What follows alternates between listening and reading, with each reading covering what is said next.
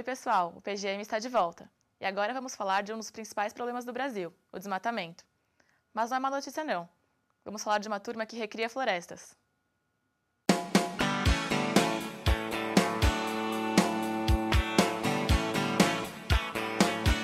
Aventura, espécies raras, animais exóticos. Estamos em uma área de 750 mil metros quadrados, no meio do campus da USP de Ribeirão Preto.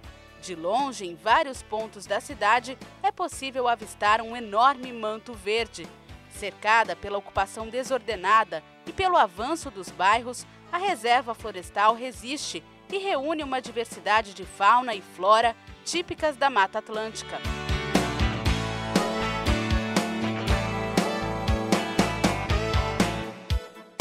Este o cenário para uma aula de ciências que discute preservação ambiental e cidadania. Estes aí interessados em tudo o que vem são alunos do ensino fundamental de uma escola de Dumont na região de Ribeirão Preto. Eles participam de um projeto desenvolvido por estudantes e professores do curso de Biologia da universidade. Auxiliados por monitores, percorrem a trilha e desvendam alguns mistérios da natureza. Essa fumaça significa que está tendo uma reação. Ou seja, a água oxigenada está reagindo com matéria orgânica. Uhum. Então tem matéria orgânica. Para muitos é o primeiro contato mais próximo com este mundo. Você já tinha é, estado dentro de uma floresta assim como essa? Não, nunca tive. Muita coisa diferente? Muita coisa. Do que, que você vai lembrar daqui? Ai, muita das árvores, viu? dessa, dessa, desse ar puro que tem, assim, da natureza. Muito bom.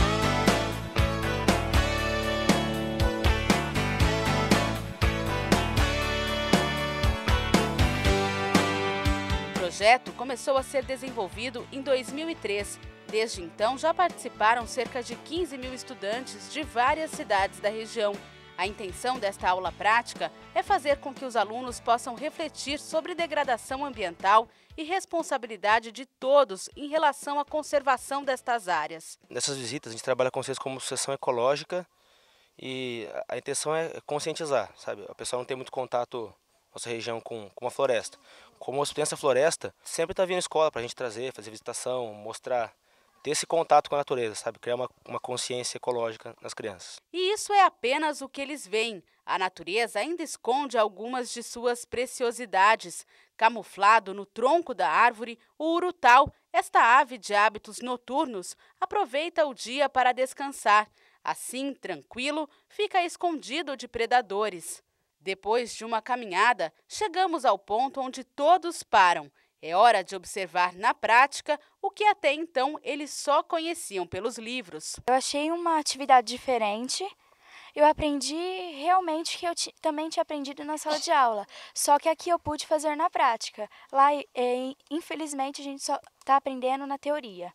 Entender por que o clima dentro de uma floresta é mais fresco, ver e descobrir o que é matéria orgânica, conhecimentos que, quando aplicados assim na prática, dificilmente serão esquecidos. Eles aprendem mais na prática, eles estão vivenciando o que eles veem na sala de aula, que é bem diferente, né, no livro ou mesmo em um filme. Esses jovens é que têm um, um, um grande potencial aí de pensar em projetos futuros de recomposição vegetal. E a gente mostra para eles um trabalho de pesquisa de ponta, né, que é essa recomposição vegetal que nós temos aqui na nossa área de, de floresta, que não foi feita ainda em lugar nenhum do país dessa maneira. Né? E eles conhecendo essa, essa, essa pesquisa de ponta, se aproximam mais dessa produção que a universidade tem, e eu acho que isso acaba é, é, é beneficiando uma uma consciência ambiental um pouco diferenciada da que ele tinha. As primeiras mudas foram plantadas em 1997. A ideia era utilizar este espaço, por muitos anos arrendado para o cultivo de cana-de-açúcar, para recompor a vegetação original. Hoje, além de servir como base para muitos estudos, a área é também um importante banco de sementes com origem conhecida e qualidade garantida para as futuras gerações da floresta da USP para a comunidade. A iniciativa chamou a atenção e muitas mudas cultivadas aqui são usadas para reflorestar diferentes municípios da região. Essa floresta teve um significado muito importante e não só por ter promovido esse aumento da área verde da, da, de Ribeirão, mas também para servir como exemplo de como florestar. Então, que é possível fazer um reflorestamento e realmente conseguir montar, é, implantar uma floresta, né, e que em poucos anos ela tem, já, a gente já consegue ver, ver árvores, por exemplo, dando frutos. Né? Ocupar sem destruir esta foi a mensagem levada a construtores e produtores rurais como seu Hugo, que apoiou a iniciativa e aceitou destinar um hectare da fazenda para reflorestamento. Só tínhamos capim, pedra, uma porção de coisas lá que, que não fazia sentido de ter aquilo lá. No local, há dois anos, foram plantadas quase 800 mudas de 45 espécies nativas da região, como mutambo, sangra d'água, ingá e guapuruvu. A estudante de biologia Natália acompanhou tudo de perto e orientou o plantio. Você fala, nossa, eu lembro da mudinha pequenininha, agora já estão árvores grandes, é bem legal, muito, muito prazeroso. Conhece cada pedacinho do que hoje se transformou em uma mata quase fechada. Tem a trema, ipê, o guapuruvu, a sangra d'água, Ingá, Mutambo. O resultado prova que, com iniciativas pequenas como esta, desenvolvimento e meio ambiente podem conviver em harmonia. Para mim é um orgulho, porque onde você não via nada, nem um pé de árvore, hoje você vai lá, está tudo reflorestado, já sombreado.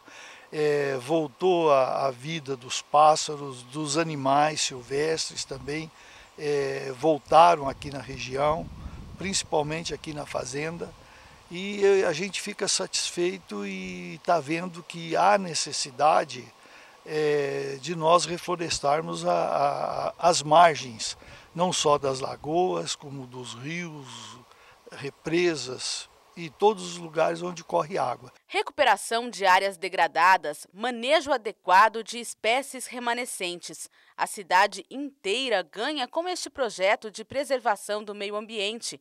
A área verde em Ribeirão Preto, de acordo com a Secretaria Municipal de Meio Ambiente, é de 4 mil hectares. Estima-se que apenas a floresta da USP tenha contribuído para aumentar em 20% este índice. É o equivalente a 75 quarteirões cobertos por vegetação. A gente tendo uma heterogeneidade de, de espécies, é possível, inclusive, ter um controle muito maior de pragas, um controle, tem várias, várias consequências positivas nesse aspecto, né?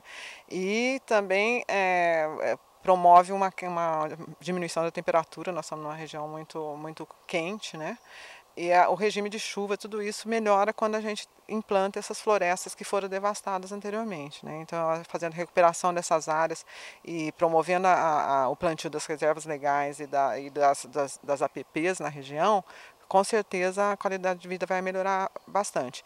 E o mais importante é a conservação da nossa biodiversidade, que praticamente foi perdida aqui na região. A boa notícia é que com esforço e investimento podemos mudar esta realidade e deixar para as futuras gerações bons exemplos e caminhos a serem trilhados para garantir o respeito à natureza.